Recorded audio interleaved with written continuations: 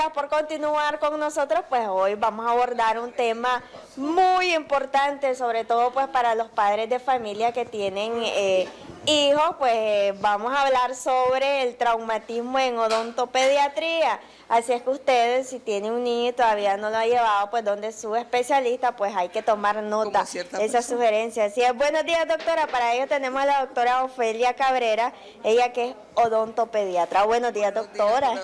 ¿Qué tal? Qué bonito. Bueno, coméntenos un poco sobre pues el traumatismo, ajá, el trauma. Bueno, el trauma en los niños. Oiga, doctora, explique eso. Pues sí, es un golpe, es una caída y sobre todo empiezan los traumas eh, en la primera infancia cuando empiezan a caminar.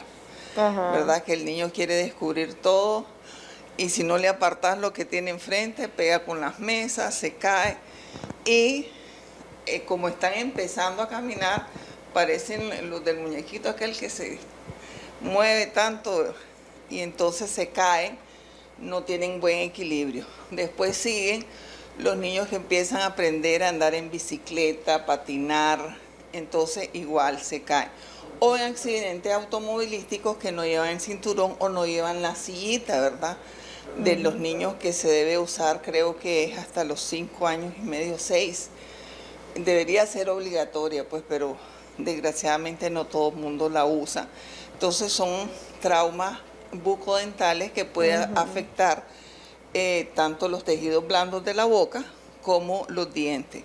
La mayoría de las veces los dientes terminan fracturados, eh, hay diferentes tipos de trauma, hay luxaciones, la, luxación puede ser lateral, intrusiva, y uno de los traumas más graves es el de la abulsión.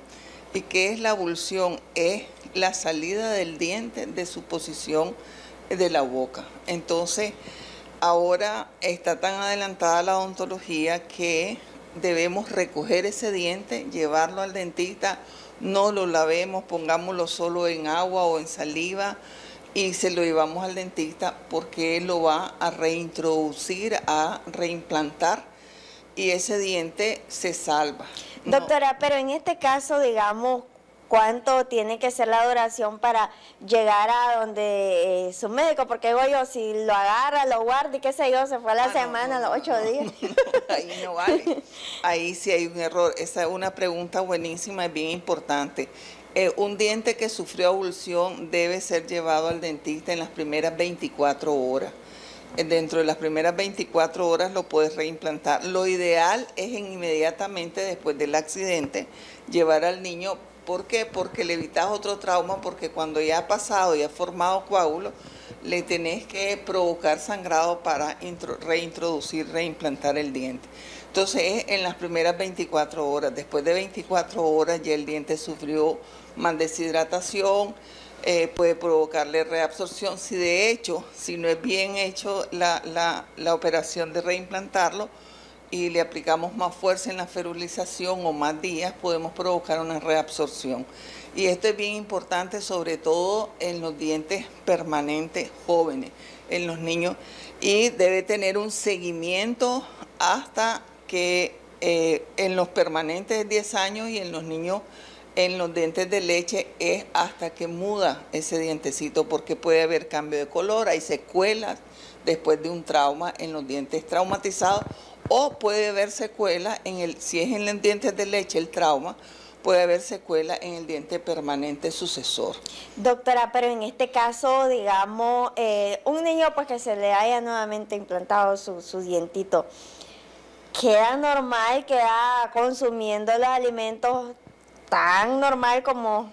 Eh, en los primeros días, eh, lógicamente, lo ideal el primer día es tomar cosas solo heladas y seguir las recomendaciones del dentista como es no morder y cortar en esta posición, sobre todo en las primeras 72 horas, evitar otro trauma, ¿verdad? Cuidar al niño de que no se vuelva a caer porque infelizmente cuando andamos un golpe es en ese lugar donde siempre nos vamos a golpear.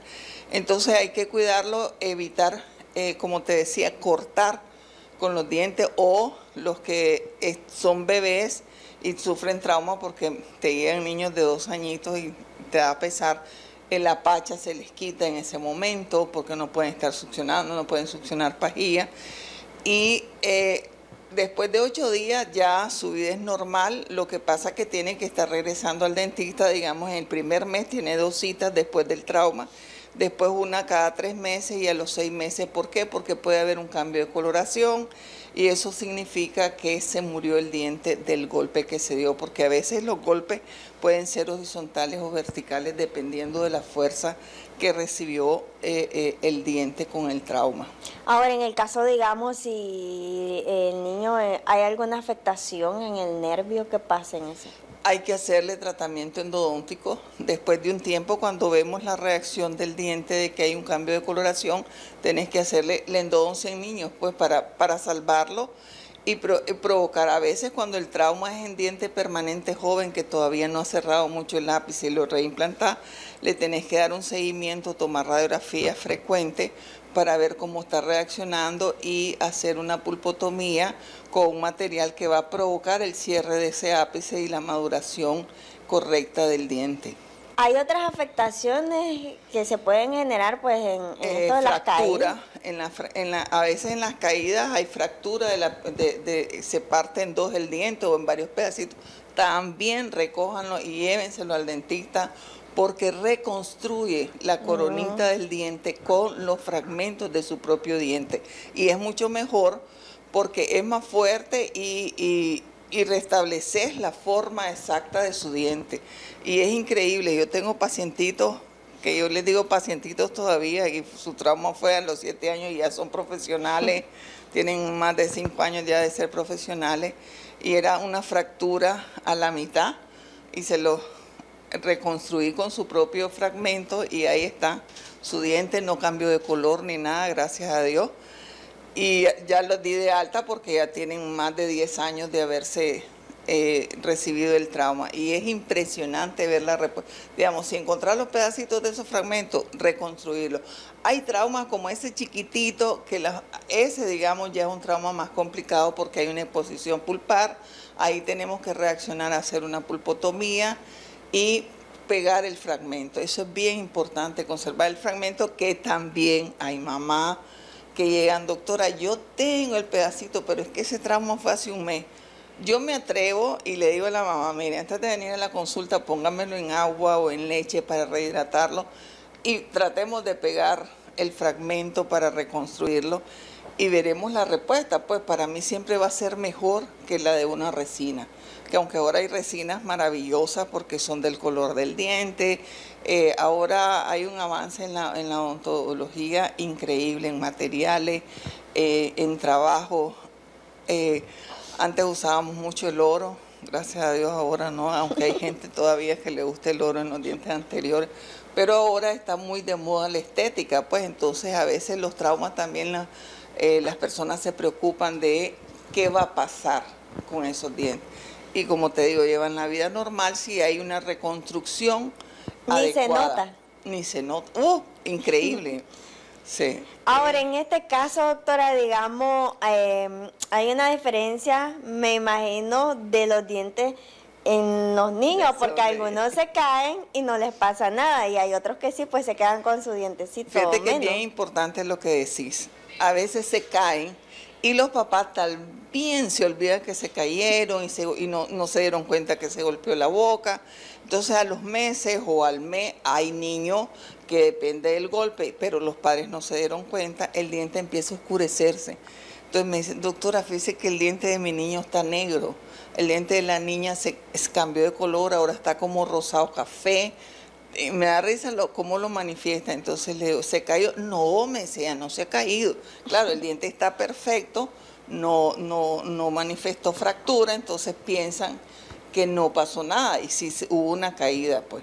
Y la verdad que eso es una respuesta a un golpe. A veces también hay traumas con la masticación, cuando no cortamos bien o los come hielo, les digo yo, con los comedores de hielo quieren cortar el hielo y traumatizan con un golpe eh, fuerte de la masticación, pero sí hay, hay historias de niños que no manifiestan que se cayeron o además, pues, que es la otra parte que voy a defender a las cuidadoras de, de los niños, porque los padres ahora los dos trabajan, entonces están en manos de su cuidadora y ni, la, ni la madre puede evitar una caída, ni el padre, a veces enfrente de nosotros se caen.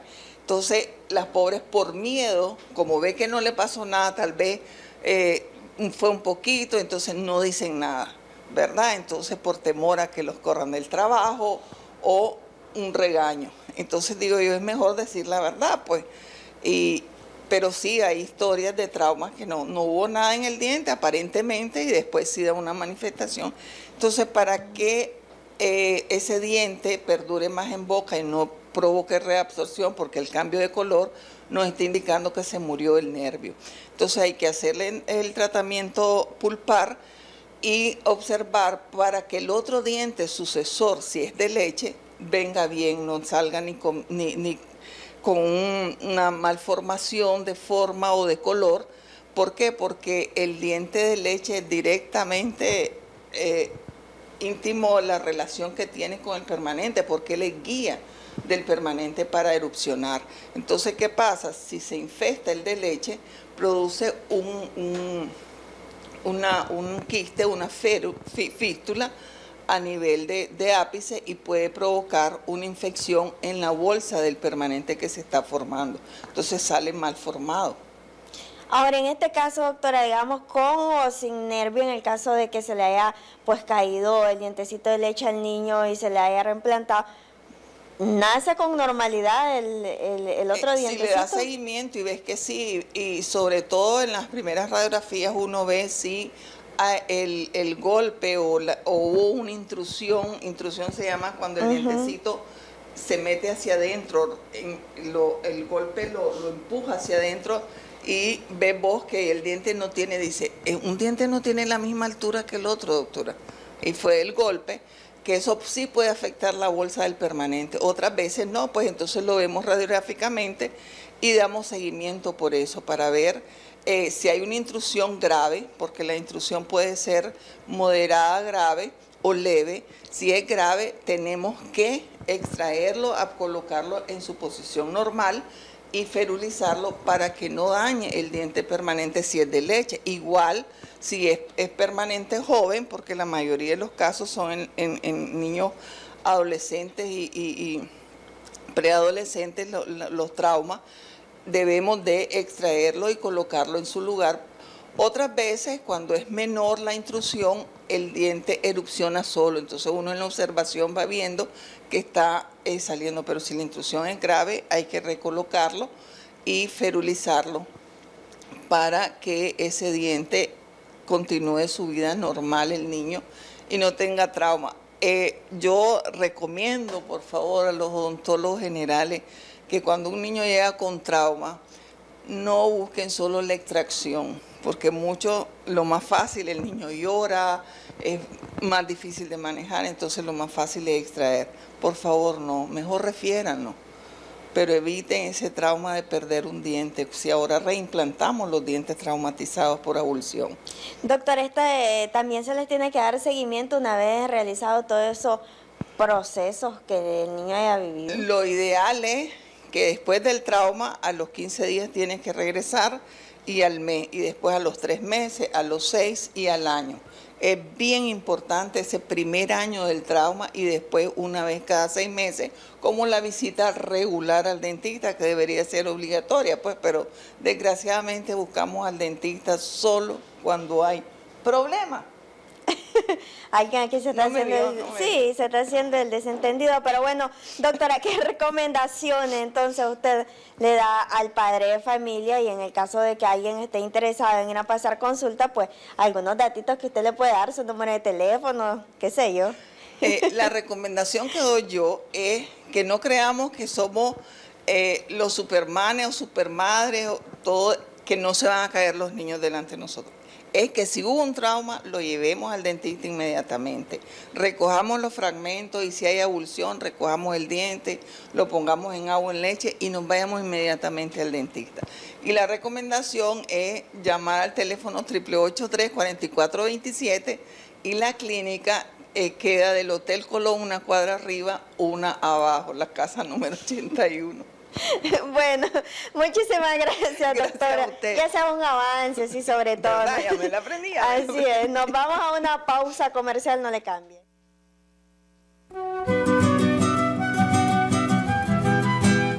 Reconocimientos, denuncias, quejas y sugerencias. Envíelas a Canal 12. Programa Buenos Días Nicaragua. Residencial Bolonia o llámanos a los teléfonos 2266-0691, 2266-9983, 2266-9984. Escríbanos a nuestro correo electrónico canal12 arroba canal12.com.ni. Redes sociales, Facebook Noticias 12 Nicaragua, YouTube, Canal 12 Nicaragua, Twitter arroba Canal 12 Nic Visita nuestro sitio web www.canal12.com.ni